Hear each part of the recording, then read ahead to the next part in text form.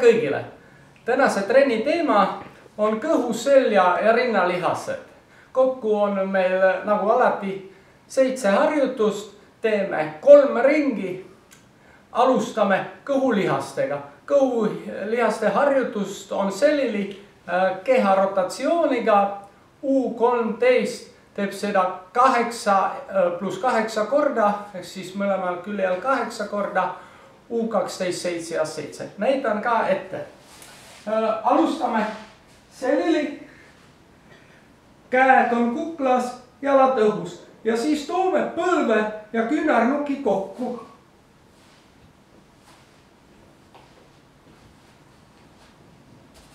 nii, järgmine harjutus on puusa ja jalatõsted. jälle oleme selili jalad on kõverdatud, käed keha kõrval. tõstame puusad üles. tähtis on see, et puusad ja jalad äh, oleksid ühel joonel. siis toome põlve siiapoole ja teeme teise põlvega rahuliku kiirusega. U kolmteist teeb äh, iga jalaga kümme ja U kaksteist kaheksa korda. Äh, järgmine harjutus on ülakeha tõsted kõhuli. viskame kõhuli. käed lähevad äh, umbes kaela kõrvale, kolmkümmend sentimeetrit kaelast. siis äh, jalad on sirged ja tõstame ülakeha ülespoole, nii et käed läheksid täiesti sirgeks ja rahulikult alla nii, niimoodi teeb U kolmteist, viisteist ja U kaksteist, kaksteist korda. järgmine harjutus on uuesti kõhuli.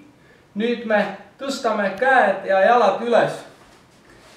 alustame nii, et käed on täiesti sirged, jalad ka. ja siis tõstame vasaku käe ja parema jala. ja siis tuleb teine käsi teine jalg. väga lihtne. kokku teeme kümme korda mõlema käe ja jalaga. Äh, järgmine harjutus on äh, külili olles kõhulihased. alustame külili. üks alumine käsi on eespool maas, ülemine käsi kuklas ja siis öö, äh, tõstame ülakeha ja jalad õhku ja toome need kokku.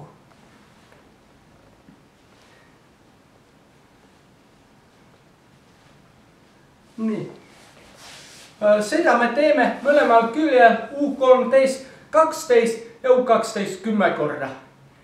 järgmine harjutus on jalgade liigutamine ühel küljel teisele. Äh, viskame selili. Käed on maas jalad natuke kõverdatud ja õhus. ja siis öö, viime jalad ühele küljele ja teisele.